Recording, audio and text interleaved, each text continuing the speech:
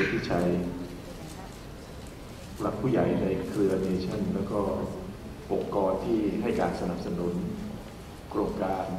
แทนคุณแผ่นดินมาเป็นปีที่ 9 ท่านผู้ซึ่งได้รับการคัดเลือก ให้เป็นคนดีทั่วทั้งสี่ภาครวมทั้งเยาวชนและก็องค์กรดังที่คุณสุทธิชัยได้กราบเรียน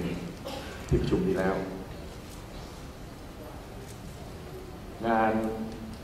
โครงการคัดเลือกคนดีทั้งสี่ภาค